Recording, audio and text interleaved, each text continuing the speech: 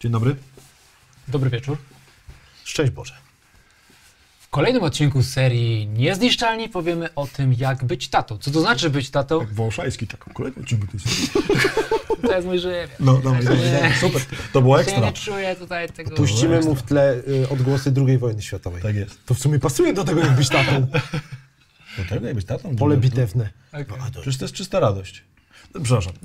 y, Drogi Michale, W kolejnym odcinku z serii Niezniszczalni uderzymy się filiżankami espresso lub bukłakiem latte i powiemy wam o tym, jak to jest być tatą. Przed państwem ojciec Adam Szóstak. widziałeś to? Ojciec zadał tak. Ja chciałem tak nakierować na jednego ojca i na drugiego trochę zobaczyłem. Listy głosi. Tęgi łeb. Łeb. Teraz Okej. o mnie coś powiedzcie. Y, Dobrze. Ojciec, ojciec, ojciec Michał, Ojciec Michał. ojciec Michał i ojciec Piotr. O, tak miło. To taka miło była- wąsko. To było profetyczne. I ojciec Piotr. A, profet. I trzymając ręce w górę, w górze zróbmy czołówkę. Trzy, cztery. Myślałem, że się zmieni i będzie to logiczne.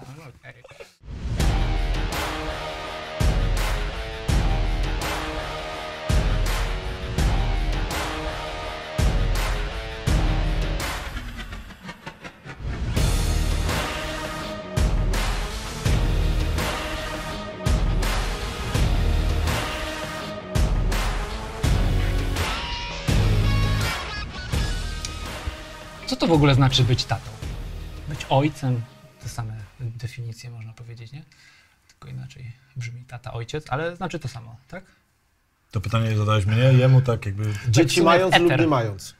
Właśnie. No czy trzeba mieć dzieci, aby być tatą, ojcem? Ojcem. I czy trzeba Żeby mieć własne dzieci? O.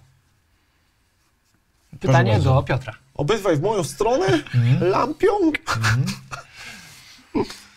A mogę, było- mogę, Może właśnie. Mogę, takie pytanie mi się zrodziło teraz w głowie. Bo zawsze na filmach jest tak i wszędzie ten, jak ktoś się tam, urodzi mu się syn tam, czy córka, nie? No. W szpitalu, że on tak wybiega... Ciepła woda i ręczniki. Nie, już połóż, tam już nie. połóż, połóż. Wszystko jest No, urodzone, wybiega umyte, w ogóle, no. wiesz, ogarnięte, klepnięte w tyłek i tak dalej, nie? No. I zawsze tak, że wylatuje ten ojciec taki tam z tej szali takie i, że jestem ojcem, Tak, nie? tak, tak. No. Ale uwaga, czemu tak jest? Jak to ciekawe jestem, było u was? O. Czy takie coś się dzieje dopiero jak się urodzi? A czemu nie jest tak na przykład, że jak żona mówi, nie, mężowi, po poczęciu, nie, że się zorientowała, że jest w ciąży Aha. i mówi mu, kochanie, słuchaj, jestem w ciąży. Przecież wtedy powinno być, jestem ojcem, a nie dopiero po No urodzeniu. tak. A ja tak zrobiłem. Zrobiłeś tak? Tak. E, no to szacun. A ty? Chyba też, ale nie pamiętam. Aha, no okej. Ale jeżeli. Ale, ale, ale, ale, ale, się zaraz ale- odniosę tego. Y, y. To, to się odnieś. Moja kacha jak była... Sorry, nie, bo, a prawo, ale, ale to był właśnie taki kabaret z porodówką, Jaki? nie? Jak? Jaki? Z porodówką? No, ale, ale, A, był rzeczywiście. właśnie na był. porodówce. Nie wiem, jakie to oglądasz programy Coś tam wmontujemy. no dobra, na dobrze, no ale czy... czy... Nie, bo to się zwykle tak mówi. Jak? Sikiratka? Okej, jedź. No. Jak moja Kasia była w ciąży, nie? To zwykle się tak mówi, o, dziecko nie odebrało urody, pewnie chłopiec. Albo brzuszek układa ci się na chłopca.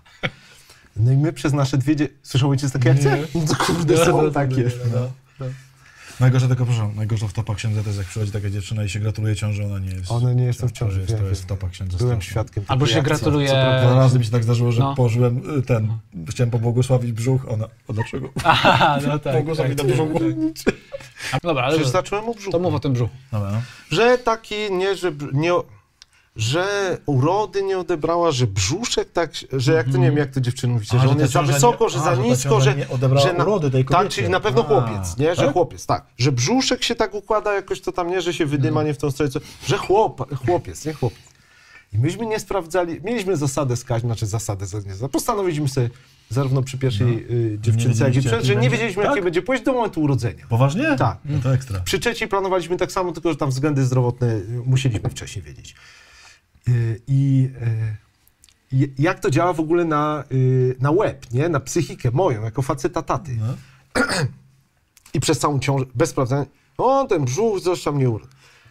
Idę na porodówkę w dniu, kiedy rodziła moja żona, wtedy była w ogóle jakaś, nie wiem, świńska grypa w Sączu czy coś. Zamknęli, nie pozwolili nam być, nie pozwolili na poród rodzinny, więc tam siedziałem za drzwiami, nie? Siedziałem za drzwiami, widziałem tam przez okno róg łóżka i jedną nogę mojej kachy. Jest, chociaż noga. No ale słuchajcie, i to się wszystko tam wydarzyło, nie? Pielęgniarka uchyla głowę, mówi, chce pan zobaczyć. Uchylę głowę? Y, uchyla drzwi, wystawia głowę i mówi, chce pan zobaczyć dziecko. Nie, mówię, no kurde, Nie, wiadomo. noga- noga mi wystarczy. Nie, noga żony mi wystarczy. Uchyla te drzwi i mówi, chce pan zobaczyć dziecko? Ja mówię, kurde, wiadomo, nie? I wchodzę taki, wiecie, taki już y, y, taki po, po, podbuzowany, nie? Te emocje takie wielkie. I idzie ta pielęgniarka i mówi, piękną ma pan córeczkę, nie? Piękną ma pan córeczkę. I pierwsza moja myśl, kurwa, nie moje, to miał być chłopak.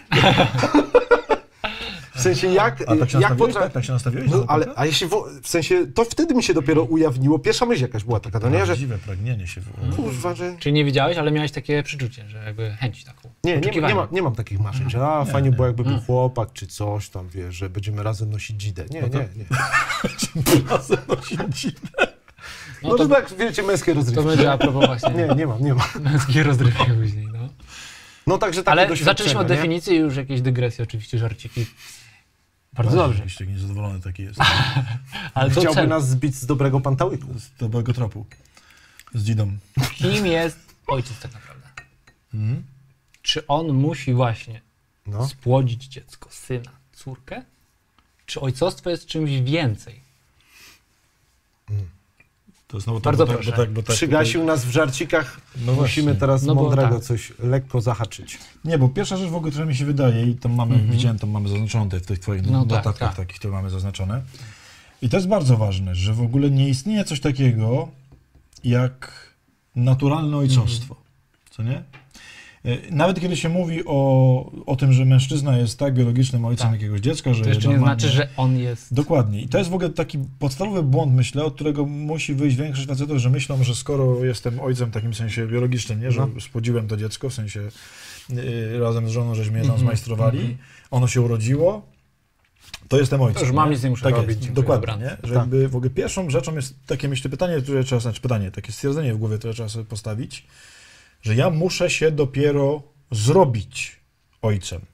Co nie? Że to jest pewna do wykonania robota. A to w takim razie to od razu odbijam Mhm. piłeczkę teraz. Pan ma trzy córki, pan ma prawie dwóch chłopaków, nie? D- Drodzy, wiadomo. Mhm. Y, Powiedzcie, na czym polega wasze świadome robienie tego, że jesteś ojcem twoich córek, świadome robienie tego, że jesteś ojcem twoich, y, twoich synów? Bo sam powiedziałeś, przepraszam, tylko proszę powiedzieć jeszcze, to było chyba w pierwszym odcinku, nie tam No. czy w drugim, nie? Że właśnie miałeś ten moment, kiedy nagle No zobaczyłeś, że... Tak, właśnie, że mi się zrobiła tak, taka... Dokładnie. Nazwij to, na- nazwij to. No? Na czym polega to Ol, ojcostwo? ol, olśnienie mi przyszło, no nie? Mhm. W sensie takie, ale to ba, bardziej tak y, chyba z nieświadomości płynące, no nie? Bo jak ojciec y, y, teraz mówi, no nie? O tym, Mhm. że, wa, że trzeba stać ojcem, nie? Trzeba budować... Ja, we mnie nie było w ogóle takiej świadomości, no nie? Że to rzeczywiście było tak, że y, życie trochę płynęło na autopilocie. No, to są, no nie? urodziłeś się, to są, No, jestem... no, no, no. Czy nie tak, że y, no nie są mi obojętne, to jest oczywiste, że nie, Mhm. no nie? Ale w sensie budowanie tej relacji, to ta, ta, ta świadomość mi dopiero y, wykiełkowała cał, całkiem niedawno, no nie? Mhm. Tak, tak naprawdę nie zdawałem sobie z tego wcześniej sprawy. Sam się śmieję z takich zawodników, którzy mówią, zapewniam byt mojej rodzinie, nie? Mhm. Bo mówię, ty stary, kurde, nie za późno wracamy do domu? Tak. No nie, że y, kurde, wychodzisz do... y, Często tak się dzieje, nie? Y, Nasi, nasi koledzy i, i świat, nie? I mówią, że są ludźmi sukcesu. Wychodzi rano, jak jeszcze śpi rodzina i wraca późno wieczór, jak, Jak jak, już śpi. śpi, no nie? Jak już śpi. Zapewniam byt, no nie? Wo- Dobrze, to wracamy. Konkret, kocha- kochany. Na czym polega twoje świadome kształtowanie relacji ojcowskiej z twoją środkową córką? Przepraszam, pozostałe córki Piotrka, wszystkie was bardzo kochamy i lubimy, ale akurat tak sobie zapytałem. Yy, Środkowa córka, na czym polega twoje działanie konkretne, żeby z nią budować relację ojcowską? G- głupia mi myśl przyszła pierwsza do głowy. Nauczyłem ją jeździć na rowerze. Co głupie? No nie wiem właśnie. No bo myślę sobie tak, no hej, może by chodziło o coś bardziej poważnego. Ale odpowiadając na pytanie, czemu głupia? Może właśnie nie głupia. Że Bo tak one to- bo one to tak pamiętają. i No nie? zostaje, no nie? Jak sobie myślę na przykład o y, mojej relacji w domu, y, to mojego taty nie było w ogóle, po prostu pracował, no nie? Dużo pracował y, i cały czas pracował, y, a y, gdy były dni wolne, to zajmował się y, swoimi chorymi rodzicami, no nie? I teraz jak patrzę teraz z perspektywy, gdy sam jestem dziadkiem, jak patrzę na, na ten czas, to bardzo mi tego brakuje, nie? Więc dla mnie nawet y, uczenie jeżdżenia, y, mówię dlatego, bo moja Zosia trzy dni temu się nauczyła, no nie? Y, I a propos sadła, ledwo za nią nadążam teraz, kurde, jak mi się odbija od kija. Y, że to są chyba takie drobne rzeczy, no nie? Że czasem nie doceniamy takich drobnych rzeczy i wydaje, mi się, wydaje nam się, że super by było świat jakiś nie wiadomo dla nich budować i zdobywać y, wysokie góry, a y, sprowadza się to tak naprawdę w codzienności do tego, że y, jak mama ich choruje, no nie, Ka Kasia, y, to na początku jest jak pod górkę, ale jedziemy śniadanka, razem robimy, no nie, pampersiak, glazowki i, i te wszystkie takie rzeczy, które są super, te, bo później jak się kładziemy wieczorem, nie, modlimy się razem z dzieciakami, naszymi dziewczynkami, stąd ta modlitwa naszej Zosi o, wakacje, słodycze i coś tam jeszcze I było świat. w pierwszym odcinku i świat. Niesamowita sprawa. To, to wtedy y, one, jak dziękujemy Panu Bogu, to często mówią o tych najdrobniejszych rzeczach, nie? Ciekawe Piotr poruszył te wątki podstawowych czynności, takich drobiazgów, które wydają się tak trywialne, że w ogóle nie trzeba o nich mówić, ale sama obecność, mi się wydaje, już jest czymś tak ogromnym i trudnym do zrealizowania dzisiaj, że powinniśmy się na tym właśnie fokusować, żeby po prostu być.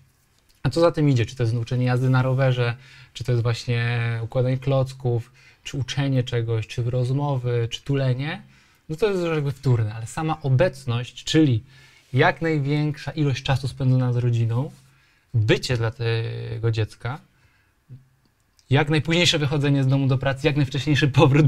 Czy ty jak Tak, Michał, jak wracasz na przykład z roboty do domu, to masz taki specjalny czas, że jesteś synem? Tak, mam zaplanowane wtorki Mhm. męskie. Co to znaczy? Powiedz konkretnie. Wtorki męskie to jest taki czas dla mnie i syna, kiedy sobie planujemy jakąś, najmniej na to, wyprawę rowerową, Mhm. na ścieżkę rowerową gdzieś dalej. E, jeździmy sobie na deskach, robimy coś tylko my.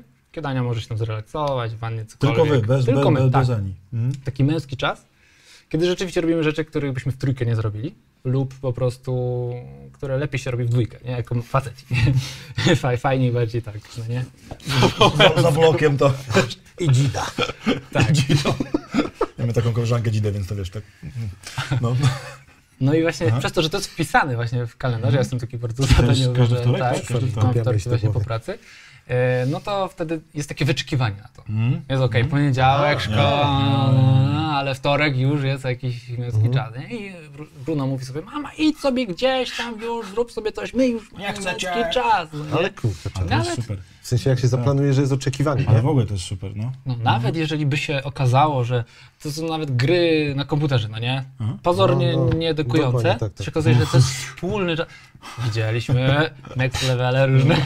To, no to, to jest właśnie to, żeby być, no, No. nie? Ta obecność, Tak, którą trzeba tak, po prostu tak, wyrwać tak, dzisiaj, tak, bo tak, tak. to wypada zrobić, tu jest taki ambitny plan, tu się z kimś trzeba spotkać, właśnie nie.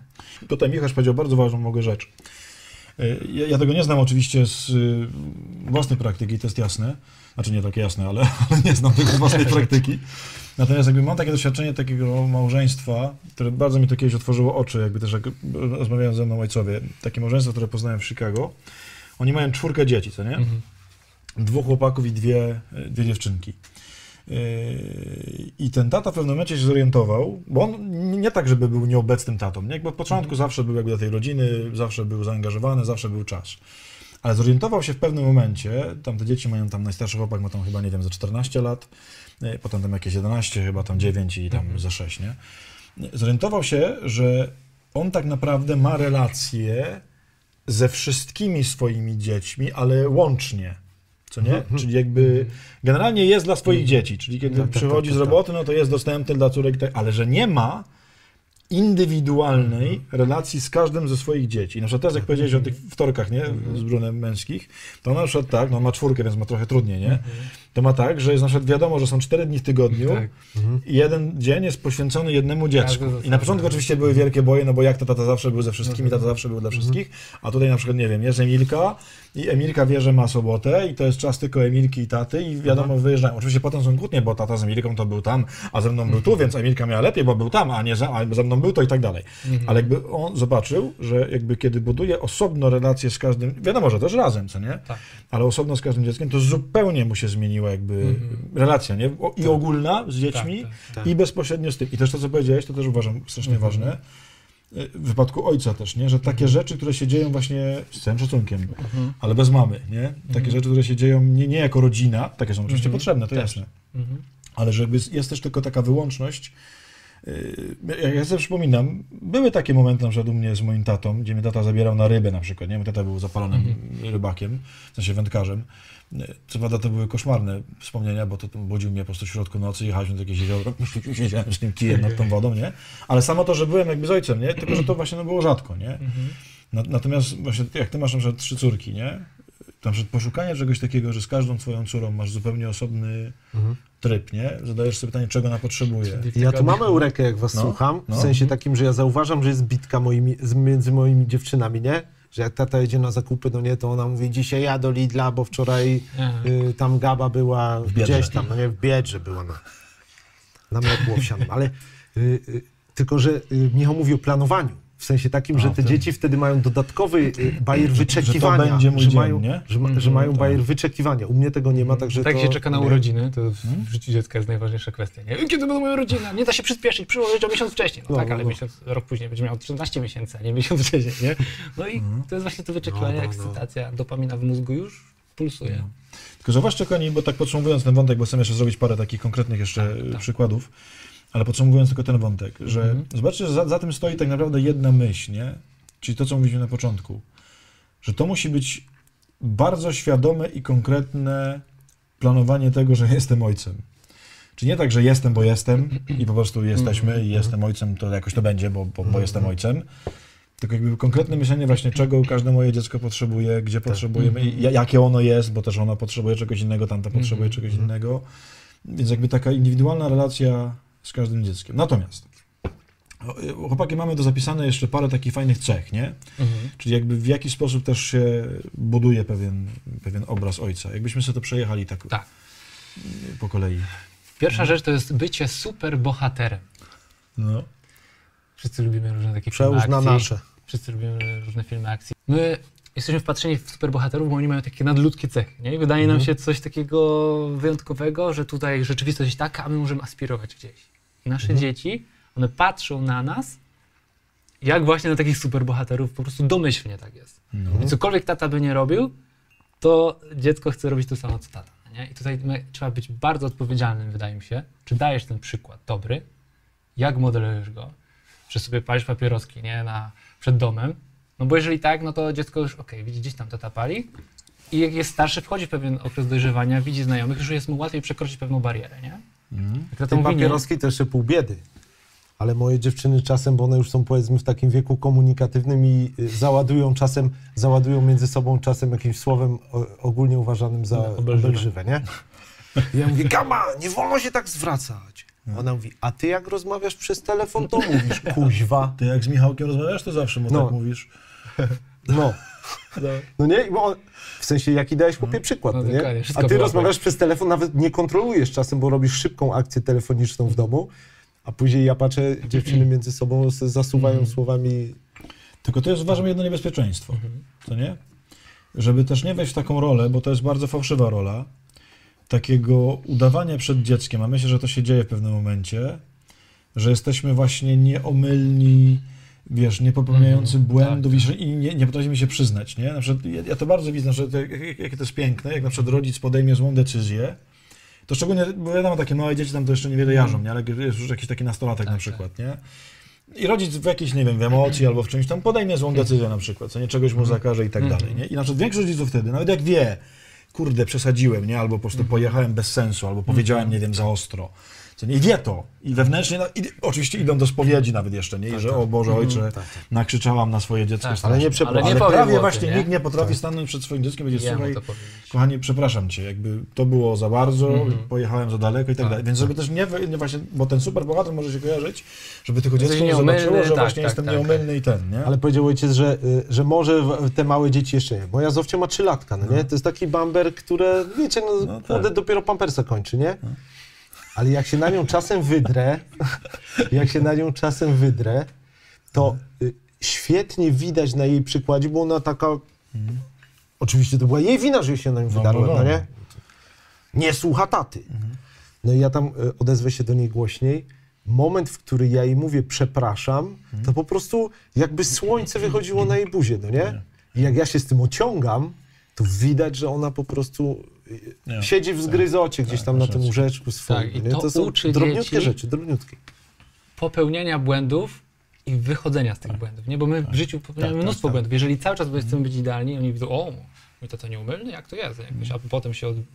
noga pod no, nie przyznaje się. Też najgorsze jest, że dziecko wie, że wcale nie jesteś nieomylny, nie? Tylko po prostu robisz z siebie, po prostu udajesz Tak. Greka, nie? Ale super jest taki zwyczaj, yy, nie udało nam się to jeszcze w pełni u nas w rodzinie wprowadzić, Mhm. ale wieczorne właśnie takie rozmowy przy modlitwie, kiedy każdy za coś dziękuje sobie, za co Mhm. było dla niego dobre i przeprasza. Mhm. Nawet znaleźć jedną rzecz, ok, przepraszam, że na przykład, właśnie krzyknąłem na ciebie, czy że nie spędziłem z tobą tego męskiego czasu dzisiaj, tak jak chciałeś, nie? Tylko myślałem coś swojego.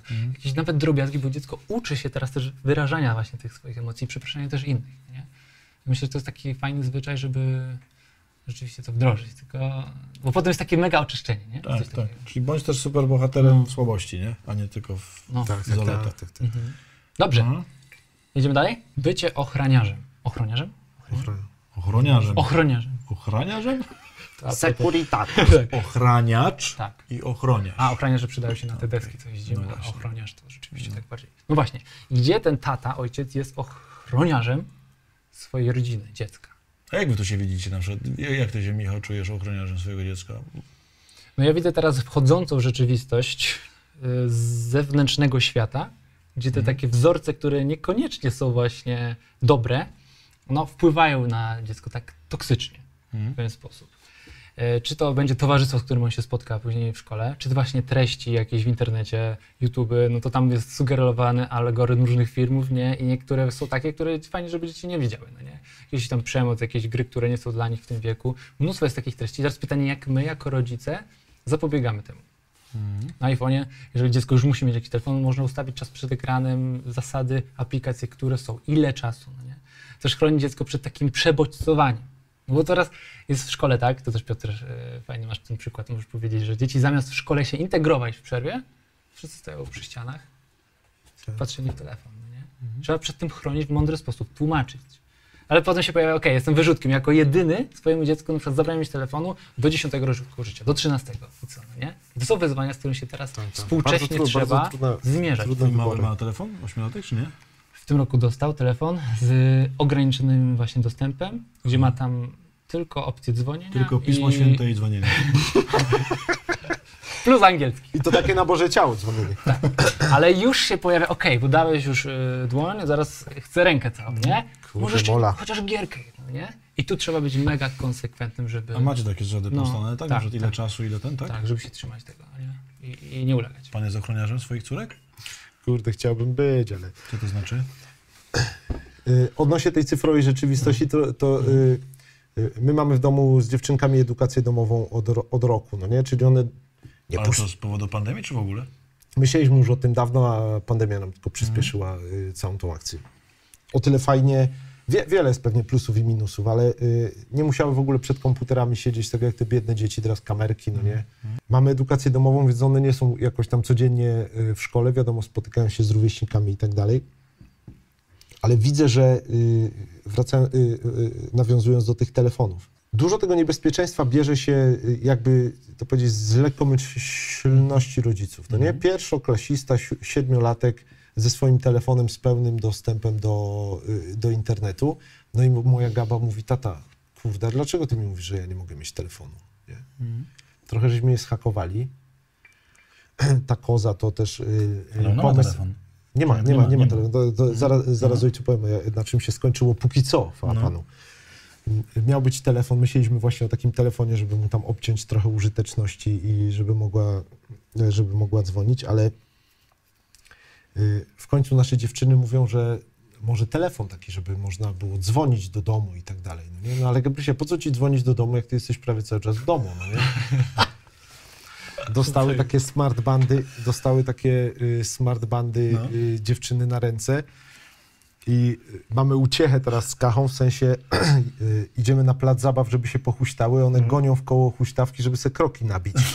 Także jesteśmy tam trzeci czy czwarty dzień, no ale myślę, że to jest nie do uniknięcia, no nie? W sensie ta rzeczywistość cyfrowa i te, te różne takie rzeczy y, prędzej czy później będą się musiały albo może nawet umiały z nią z, y, zderzyć, no nie?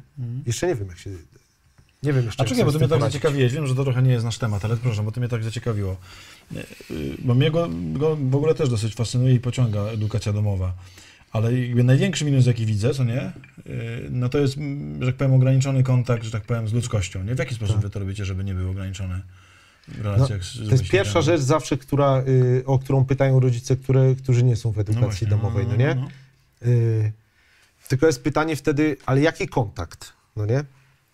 Pierwsza sprawa, y, y, pierwsza sprawa jest taka, że mądre głowy mówią, że nie za dobre jest dla, dzieci, dla dzieci jednorodna wiekowo grupa y, rówieśnicza, nie? Tak to No. się mówi? Michał tam potrafi ładnie nazwać. Ta jednorodna taka, y, jednorodna grupa.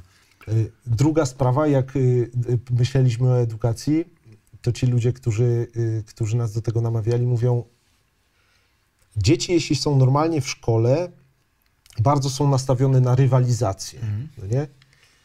Edukacja domowa daje y, jakąś tam szansę na to, żeby uczyć y, te dzieci kooperacji ze sobą, czyli one spotykają się ze sobą, bardziej bazując na swoich zainteresowaniach. Nie, ale nie Piotrek- czekaj, dojdę do no. tego. I one się spotykają ze sobą. One razem y, y, chodzą na lekcje plastyki z innymi dzieciakami, Jak grają. chodzą, jak to chodzą na lekcje plastiki? No, Skoro edukacja domowa, to jak? To gdzie chodzą na lekcje no plastiki? to Młodzieżowy Dom Kultury, A, Pałac prostu- Młodzieży, coś tam. załatwiacie im inne zajęcia po Tak, prostu. A, no właśnie o to nie? No ale to normalnie dzieci chodzące do szkoły też chodzą na jakieś tam lekcje malunku, czy y, rzeźby, no nie? czy Czyli robienia łażą na zajęcia takie z innymi dziećmi Dodatkowe, też. trampoliny, dodatkowe. nie? trampoliny Różne jakieś A, chodzą, okej, no no nie? właśnie, bo nie, bo to No nie Także socjalizacja się wydaje kłopotem, Mhm. ale zupełnie, zupełnie mi się wydaje, nie jest wiadomo, one tęsknią za swoimi koleżankami, Mhm. które Ale też poznały mówię, wtedy że w są takie szkole. spotkania tych rodzin właśnie, które mają tę edukację domową jakoś, co jakiś czas, nie? Co- w co różnym jakiś miejscu, czas. takie No, integracje. się. nie? Okej, dobra. To nie jest nasz temat, ale tylko nie, A, mnie, to mnie ciekawiło. Co my tam mamy dalej?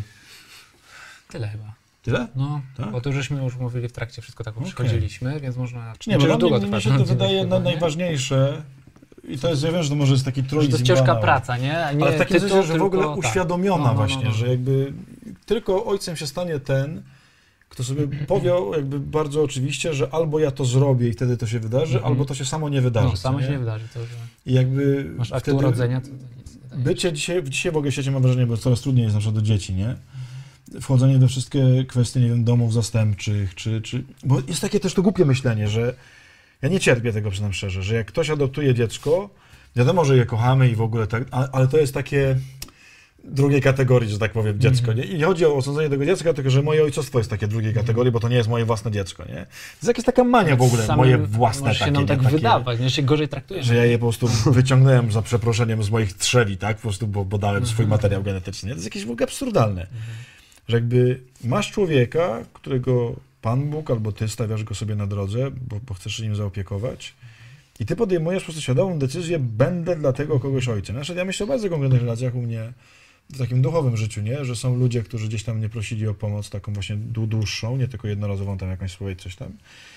I na przykład dla wielu z nich ja się czuję w ogóle, że jestem ojcem, nie? Jakby, mimo, że są często dorośli ludzie oczywiście, Mhm. których ani nie zrodziłem, ani nie wychowałem, a, a znam ich dopiero, nie wiem, od pięciu lat czy dziesięciu, yy, ale u których też tak myślę, jakby co ten konkretny człowiek potrzebuje, w czym ja mu, muszę konkretną relację zbudować, nie? A taka instytucja, o której y, słyszałem, nie wiem czy to dobrze nazwę, że y, ma się ojca duchowego, czyli No. dajmy na to zakonnicy mówią, że mają córkę duchową, albo, No, nie wiem no. czy synów duchowych też macie, ale A, odnośnie tych córek, na czym to polega? Czy nie, to, jest to, ci myślę, ojcem, myślę, że to bardziej chodzi po prostu o duchowe kierownictwo, nie? Aha, okej. To trzeba oczywiście to też uważać, bo tu się dzieje też, może się dziać dużo niedobrego i zresztą to, się, to samo się może stać w normalnym ojcostwie, Dokładnie tak. gdzie możesz uzależnić jakby swoje dziecko od siebie przez tą relację, nie? że potem Tak. ktoś nie jest w stanie samodzielnie żyć, nie?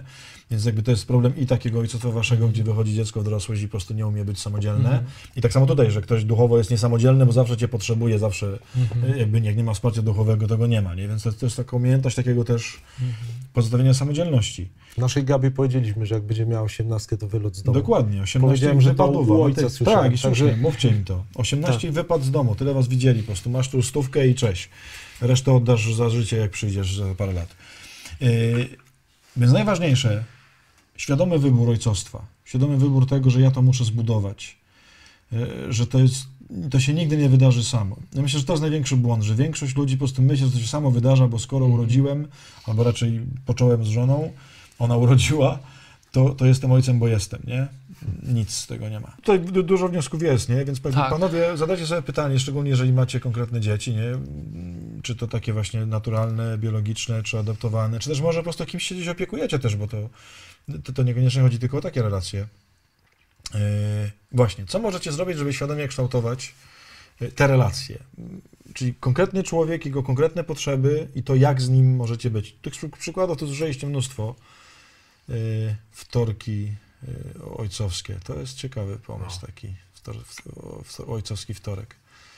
Może sobie zrobię taki ojcowski wtorek dla chętnych.